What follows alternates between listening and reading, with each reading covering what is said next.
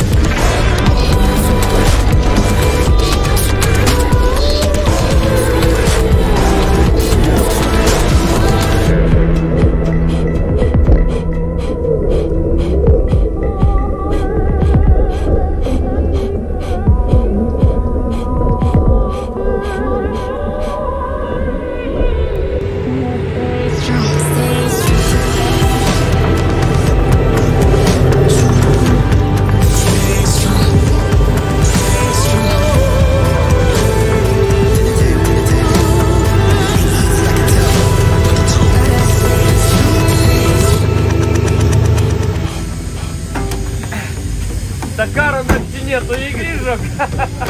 dar, dar ryto, ryto, rytas dar neatėjo. Dar, dar Anksti grįžom. Yra balio balinėtojai ir yra Dakaro naktinėtojai. Tai mūsų naktinio Dakaro istorijos tęsiasi. Gerai, kad užsidėjom lempas, nes jau žinojom, kad vis tiek į naktį kliusim, šiandien ilgas greičio rožas. Šiaip jis buvo greitas, geras, buvo aišku kopų sekcija tokia įdomi. Bet e, vėlgi, nu, mes apie 100 km nuvažiavom nuo starto, 90 km iš tikro e, subirėjo priekinis reduktorius. Nu, tai aišku, kad e, iškart žinojom, ką daryti, plius nusimetėm apsaugas, nusimetėm kardaną.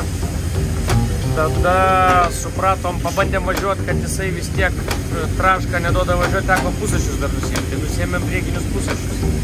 Nu, žodžiu, sugaišom krūvą laiko, pasidarėm vėl pakį ir iki dabar atvažiavom iki finišo. Tai aišku, teko vėl ir per kopas, ir naktį važiuoti tik su dviem ratais. Tai jeigu antrą dieną e, nu, buvo taip, e, atrodė jau čia nu, kažkaip toks jau labai mums nesėkmingai išpuolė. O dabar jau mes čia priimam kaip normatyvą. Taip jau matyt jau nusiteikia, kad taip, taip ir bus. Tai didžiai patikė, sakė naktį važiuoti su dviem ratais per kopas